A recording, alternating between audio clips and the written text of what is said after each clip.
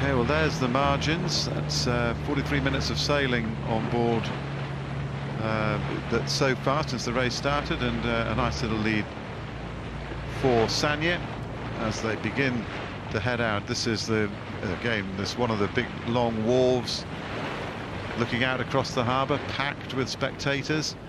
I think uh, they were estimating something over a thousand boats out yesterday. I suspect there might be even more yesterday. People taking every vantage point to look out across the city and across the harbour to watch these guys heading out. And I think most people here know that what they're heading out into is, is going to be something very, very rugged. So the boats, you see, we heading towards North Head. Still punching tide. It's going to take a little while to get out of the harbour, get the relief from the tide, but Camper up to windward, Telefonica down to leeward here. There's onboard Camper. So the, the headland there that we're looking on, that's where we're based, North Head, which is the iconic headland. There's the massive crowd up on North Head enjoying festive occasion, really, isn't it? The today and yesterday, really, there was a lot of people up here enjoying the day, binoculars, the New Zealand sailing public, pretty educated. Out there before Martin and they ask the questions, they know the technical terms.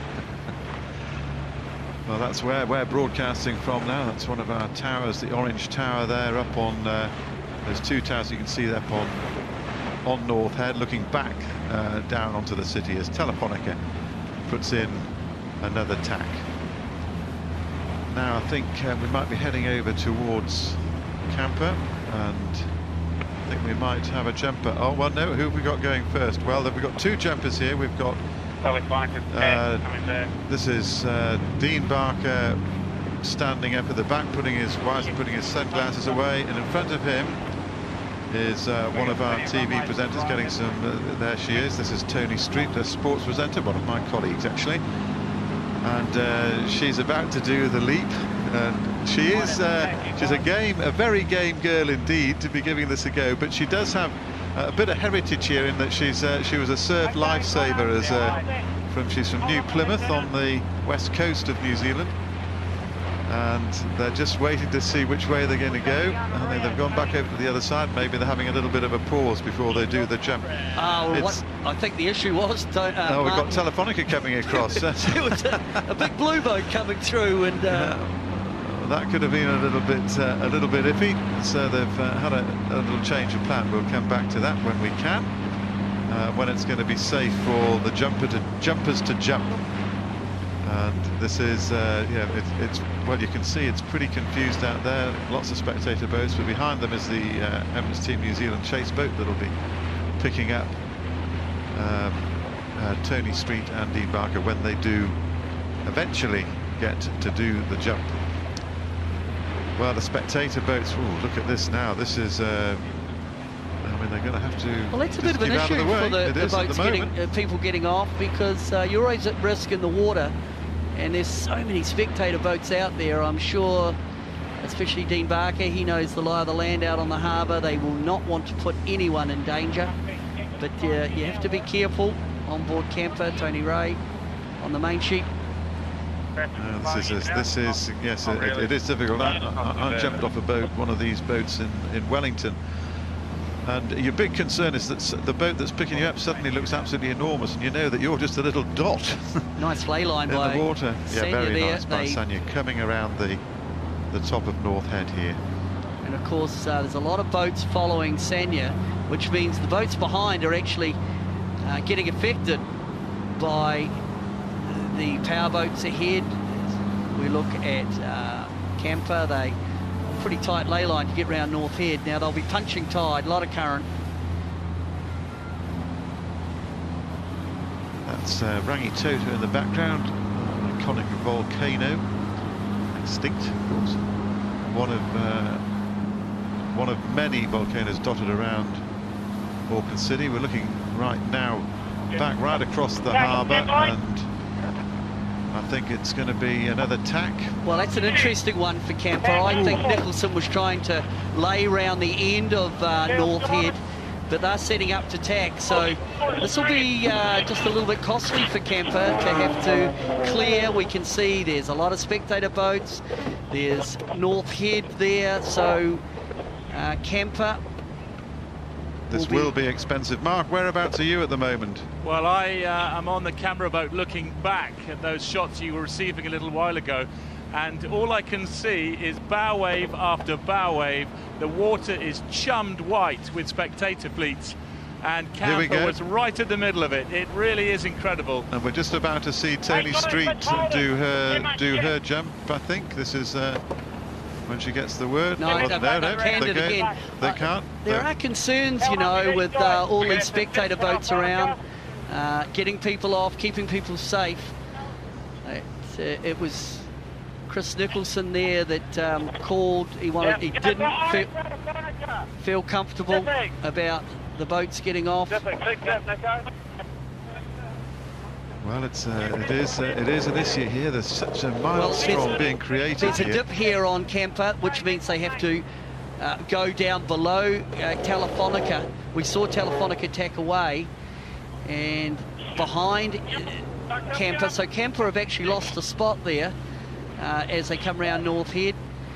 But I think more the point is you do not want having people in the water when you're in close contact with the other racing boats. Safety paramount, and I think uh, it'll be maybe they'll just wait a little while till they've absolutely got it clear before they let anybody get off another complication for these guys, and I think that in many ways they're going to be glad when it's just the open sea that they've got. Chris Nicholson looks back. I think I wonder if they'll wait for one more tack before they uh, they let the guys off. We shall see. Now, Mark, you're saying that it's a pretty confused sea state out there. I mean, you're beginning to get out more into the ocean where the wind is actually coming from. Oh, here we go. Is this it now? We're just waiting to see what the word is. And this is, uh, there's two, here they go. And I think it's going to be... No, they're taking. No, no, they're taking After the tag. Boy, it's a bit of a balancing act between trying to get the people off, but also remember they're still racing the boats. And of course, Chris Nicholson has the responsibility to uh, the crew, the guests on board, in many ways, I just hope uh, they get this over and done with. It is a, dis a distraction a for distraction. the crew. Okay, Dean Barker there is waving the waving the chase boat in. Here goes Toni Street. Oh, that's just nicely done, Toni. well, she'll talk about that one for a while as the life jacket uh, explodes for her, and then she'll be wait waiting for the pickup. And there's Dean Barker waiting to go.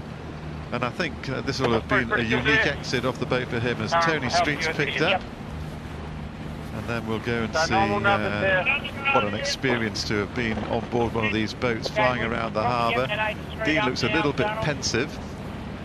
Um, but I think that uh, at the same time, uh, as you were saying, Peter, that you know he, he, he, he, in some ways would be like to get like to be going, but he knows what they're going out into, and will be probably quite happy to get up and know he's got a warm bed tonight.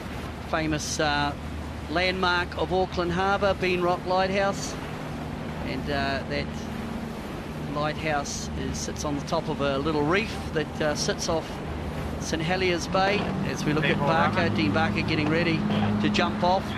Okay, waves goodbye to the, the boys. Here he goes. Oh, nice dive. Oh, Could have done Oh, his hat legs. survived as well. Yeah, very good. That was, uh, we get a few marks out of 10, I think. Wasn't very, too very bad. nice, not very nice dive. There he is. I'm amazed his hat stayed on. That's uh, that's that suddenly gets uh, a line thrown to him and we're pulled up and ashore, and that's uh, that'll be a unique memory without a doubt. So we can concentrate now on uh, on where we were. Okay, so I think things will settle down on the boat. That's probably been a little bit costly for them, Peter. Well, I think it has. I'm just, um, although it's amusing, uh, I, do think actually for the team it's probably a distraction they didn't need. And uh, through all that, when uh, they, they started the manoeuvre, I thought they were in third. I've got them now. They might have lost two or three spots um, through that distraction. They had a couple of tacks to do. But up the front of the pack, it's Sanya, and they're, coming, they're still approaching. They'll be looking for a yellow marker. They'll come around that yellow marker and then head up towards the um, East Coast Bays.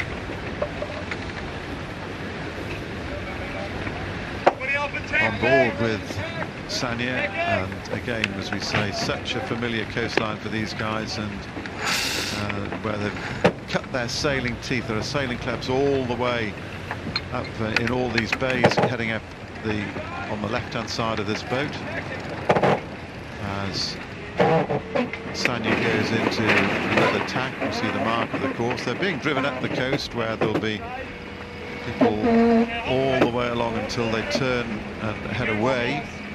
Uh, they're driven along the coast, uh, people from vantage points all the way along, able to watch the fleet as they as they barrel past.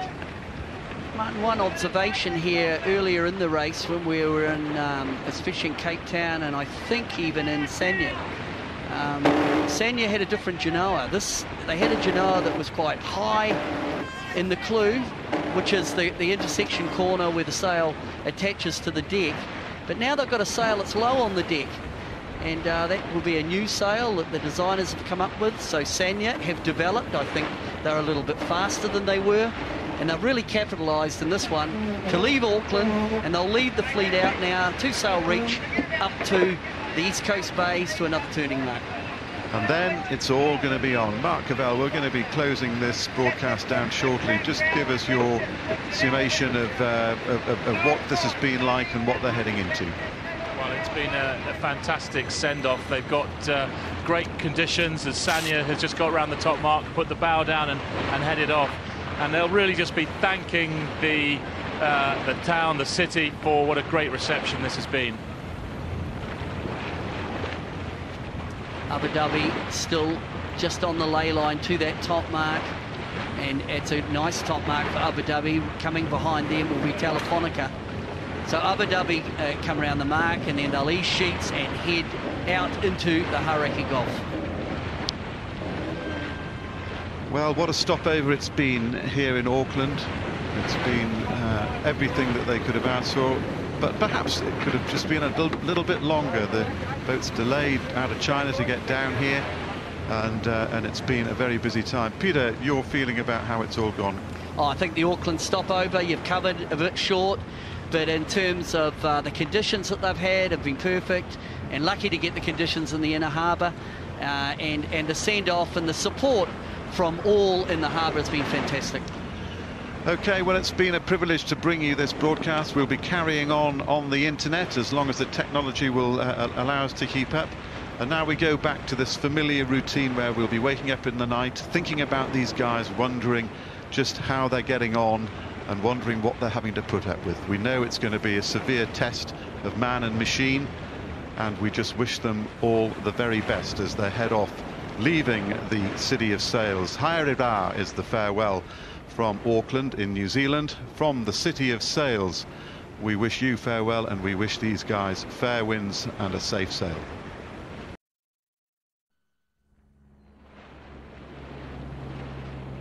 Okay, welcome back, all you viewers on the internet around the world. We're uh, looking at the fleet now. They've cleared the port, really, of Auckland, and they can now get into a, a settling down routine and they're on their way. And well what lies ahead of them. 6,700 miles. But before that they're in for a right regular little kicking in the next couple of hours Peter. Next 48 hours. Uh, well first up yes they've got to get out of the harbour. But um, the first obstacle will be actually clearing the Hauraki Gulf. There's a uh, an area called the Colville Channel. Wind against tide. It can be quite nasty. I don't, I don't imagine these boats will have too much difficulty. But then they get out into the Pacific off New Zealand and the forecast is particularly nasty. And it's decision time, you know. They've got to make some decisions. Do they head hard immediately uh, south down to East Cape, which is another landmark of, of the North Island, or do they track out into the Pacific uh, for different conditions? So the next sked, skeds in the next, what, six hours or the next 12 hours will be interesting viewing because uh, I expect to see a split in the fleet. Mark Covell, how do you see this this one panning out for these guys in, in, in the next couple of days? Well, it's uh, the, the, forecast uh, certainly for tonight, uh, the next couple of days, is uh, quite a lot of breeze. But talking to some of the navigators, he said it wasn't uh, so much the, the first few days that was worrying them. It was the transition back to slightly lighter conditions and making sure that uh, they don't suffer from lack of breeze. So that was what was concerning the navigators. But just looking off to my left as we're, we're tracking along the fleet, We've got Sanya in, in, in, in, the lead, who was obviously last into Auckland. And way back on, on, on behind me is Groupama, who, uh, who was first into Auckland. So completely reversed uh, as, they, as they left. We're looking across at the sail training ship Spirit of New Zealand is that uh, square rigger in the background as uh, once upon a time a state of the art and now these ones uh, how different they look as well Camper, Puma and Telefonica are all bunched in as they punch their way up the Rangitoto Channel and on towards uh, East Coast Bay. It's pretty murky out there at the moment. Yes, very murky. Uh, there's a um, there's like a mist in the air. The breeze is still up, uh, and of course the the green sea is no longer green. It is just white with uh, waves made by this incredible spectator fleet. It really is incredible. There's canoes, small dinghies, launches, bigger boats, jet skis, ferries, you name it, it's out here. Mark, how many boats do you think you've got out there oh, doing the I mean, I, I started counting and lost count as I, uh, I mean, it, it, has got to be a thousand boats. It really has. It's an incredible sight. It really is. Uh, this is the island of uh, Rangitoto, which is uh, a, a, real icon for New Zealand because it's almost a perfect volcano and you can, it looks the same whichever way, wherever you are in the city and uh, it's uh, it's attached to a, just to another island, Motutapu. And this is the view from there. You can see the the, the, vol the volcanic look of the place. This is flying across, and uh, there's that spectator fleet that Mark is Mark is uh, referring to. We're looking right back from Rangitoto across the Rangitoto Channel, which is the main shipping channel leading into New Zealand, uh, into Auckland, and we're looking back now. The, the tower in the background is uh, uh, alongside one of the beaches, which is Takapuna, which uh, which has its own boating club. In fact, how, how, many boating clubs would there be up there? I suppose. Uh, well, there's Takapuna, there's Milford, then we head up to. Um, before that, there's uh, the. well, down here, Narrowneck. Devonport, Narrowneck. And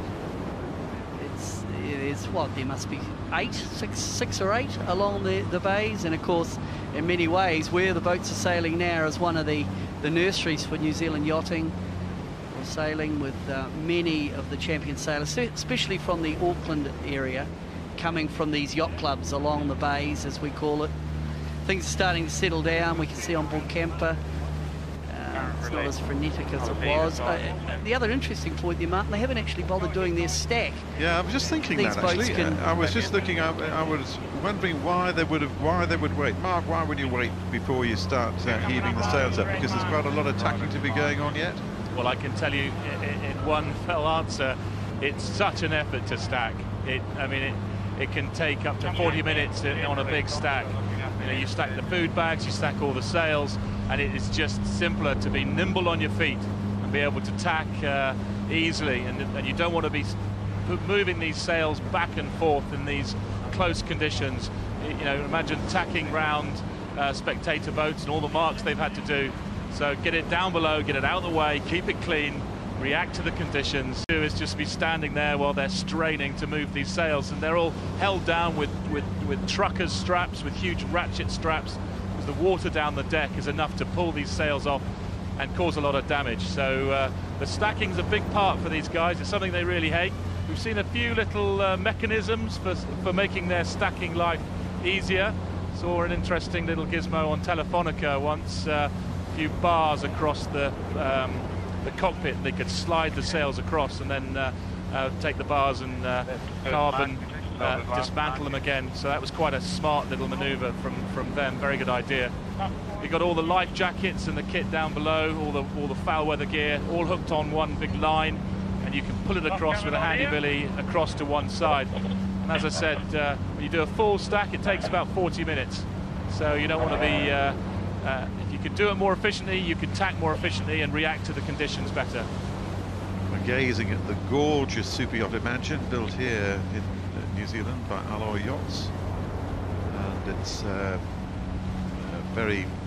Uh, the owner is a very proud supporter of, uh, of Emirates uh, Team New Zealand, and they use it as one of the hospitality boats.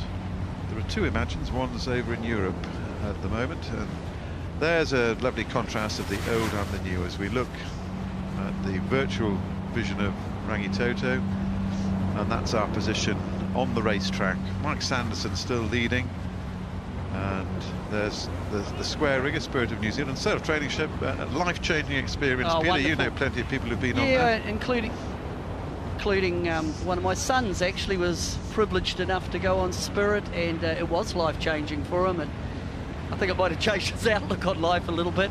And the, the people that run it, the trust that run it. I mean, many young Kiwis uh, go through the Spirit, and um, they do a fabulous job of taking young Kiwis out onto the the, the safe seas around the New Zealand and teaching them what life's about, really, and, challenging them to do anything, which is which is Well, fantastic. get, I mean, uh, you know, up on the top of one of those rigs and, uh, wanna go up there? and the comradeship. No, thank would you. you no, go no, up there? That's not these days. Yeah, that would be. Uh, I, wouldn't want anybody to have to lift me up there. So we're back now on board Abu Dhabi. Ian Walker had a, made a really nice job of uh, getting out here. They did. They certainly did. It, I thought uh, Abu Dhabi did a, a very good uh, in import portion, as Ian Walker frequently does.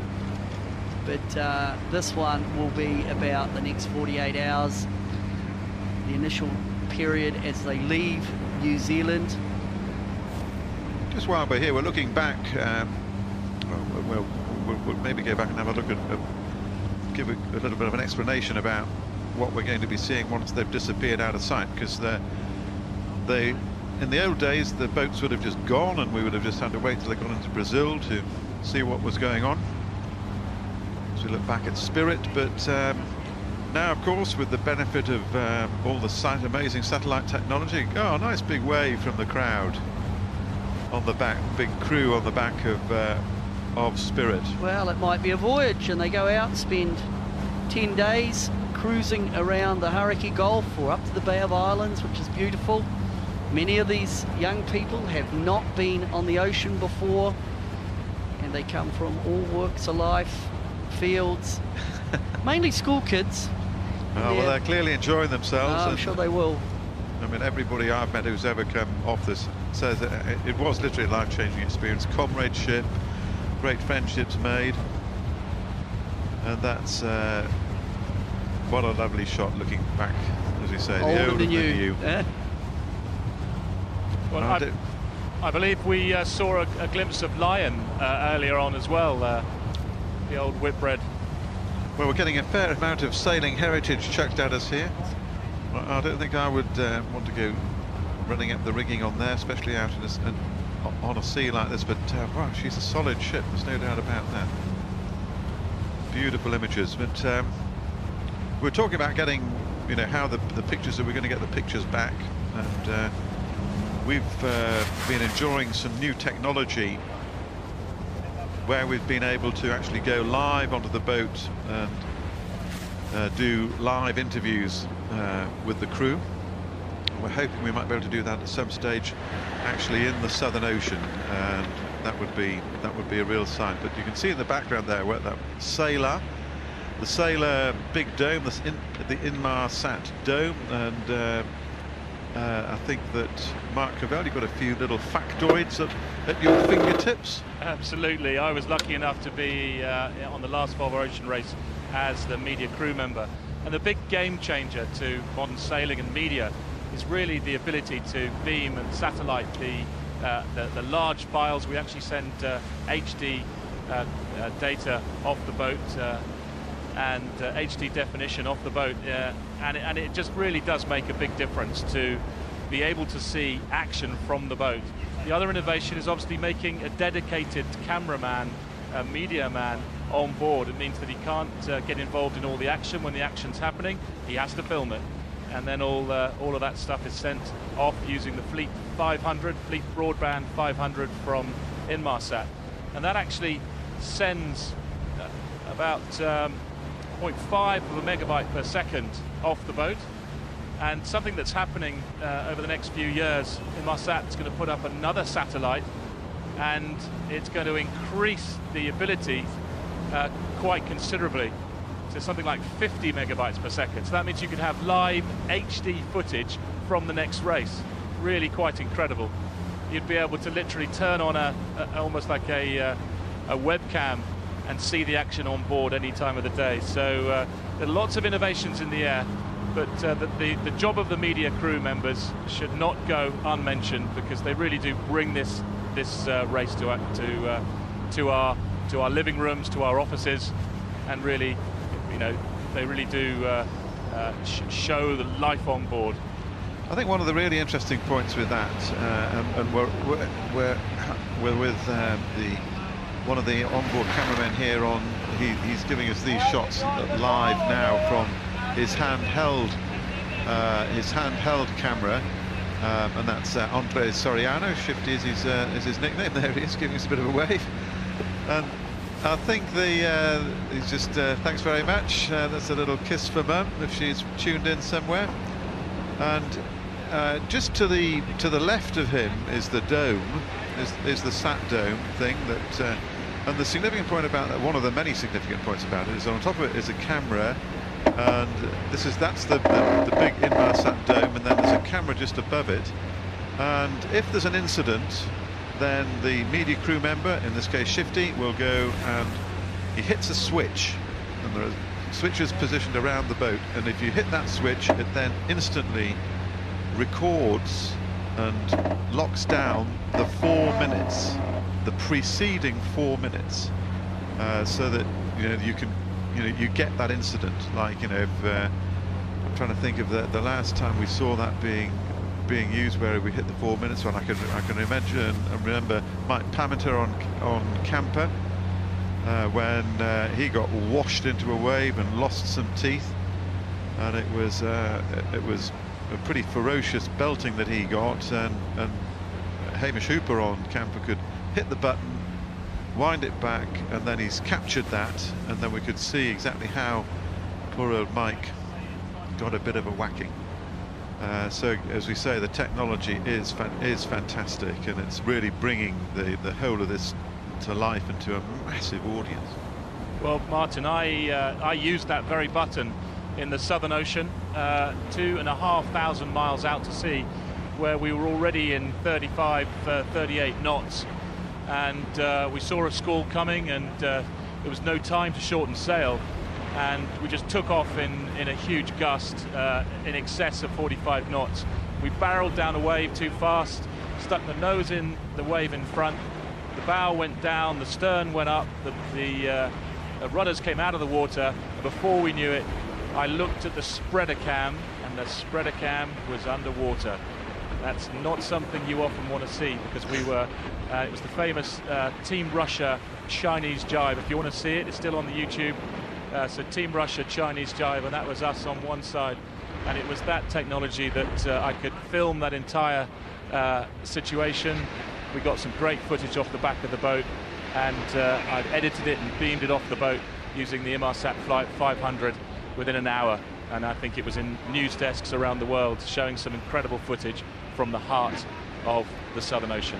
I remember it well, and it is uh, it is a, a, very very scary piece of footage, especially as you know you're so far away from anywhere. I mean. Um, this race now will go past in the in the Southern Ocean, go past Point Nemo, which is the most remote spot on Earth, 2,000 miles from land in every direction. What does it feel like, uh, Mark? Well, it's a strange emotion because uh, seeing all the specta spectators and they can look over and see all the houses and imagine the people watching them. And then uh, it's not long before the last spectator boat leaves and you realize that you're, uh, uh, then the helicopter come and buzzes you and then the helicopter waves and then you sail for a few more days and you realize you've probably strayed off the any shipping lanes that uh, you, you might be running with and you start to see fewer and fewer uh, ships out there, and then you just realise you're out there. You, you know, you're, almost beyond, uh, you know, any kind of helicopter rescue. Uh, if a plane was going to come past, it could purely just drop you something if you were in trouble. And it really is that sense of loneliness and being far out. And the only competitors, the only sort of body of man and, and, and, and anything that could come and help you are the other sailors in the race. And that's uh, a, a, a real solace to know that if you were in trouble, uh, that you had uh, the other boats around you that could come and uh, come and rescue you. And I, it's a statistic that I have to, uh, check out myself, but uh, someone told me the other day that when you get to that midpoint, you are closer to the NASA space station than you are to any other body of men, which is really quite a, a, chilling thought. And the thought of being so far out, you're closer to something in space than you are on land. Well, that's that is, um, I, I, would imagine, a pretty spooky feeling. Talking of distances, uh, Mark, uh, what is it that the data that comes out of that thing is sent uh, 72,000 kilometers on a round trip in less than a second? That's right. It really is incredible how fast the uh, uh, the data is sent up to the satellite and uh, back to HQ in Alicante uh, where they process it and uh, send it out and make it make all these wonderful uh, uh, images that we've been seeing. It does make you think, doesn't it? So, yeah. Seven cameras on board these boats. And uh, with, I mean, they're, they're, up in the rigging. Well, there's, there's one looking back now from uh, under the boom. And you can remotely control them from inside the from the media desk as we look at, uh, there's Amory Ross doing his work. And you can see what a great shot from the helicopter. And uh, both hands there, and that uh, is some really nice stuff there from uh, Amory Ross done a great job. It really has uh, revolutionised the sport, especially um, the Volvo Ocean Race, and, I, and I'm sure as sailing develops and the technology catches up really or makes it workable we're going to see technologies used for sailing to bring it more alive. But the stuff that's come out or the material that's come out from the media crew members and the technology that's used to make it usable uh, I think is absolutely fantastic. So the boats now are up round Mark 3 that's up the east coast bays and uh, just while I was sitting here listening to you guys chat away, Martin, the, it's getting more wind. The waves are getting up. You can see the guys are starting to get uh, plenty of water over the deck as uh, Groupama comes into Mark 3. She trails that little group a little bit, but um, I, am sure in the context of what's going to happen in the next 20 odd days, it's going to be a big issue. But uh, amazing how yeah. quickly how quickly they are into the rough water. And it's only going to get rougher as they head out towards Colville Channel later in the afternoon. So we look at Groupama coming into the Volvo Ocean Race turning mark out off. Looks like it's up by Murray's Bay to me. One of the, I think that's Dean Barker's yacht club from memory. It's where he learned the trade as Groupama come round and harden up. So all boats now, uh, they, they came along on a reach from the turning mark in the harbour and now they're having to go back on the wind. They're heading up to the final mark, which is further up the coast. And then it is directly on the wind all the way across to the Colville Channel, the Coromandel Peninsula. Martin, I've sailed out there a bit and it can get quite nasty with this wind direction. And later on in the day, when the tide changes, they're going to have wind against tide. through through an area that is notorious for big seas. Not nice at all.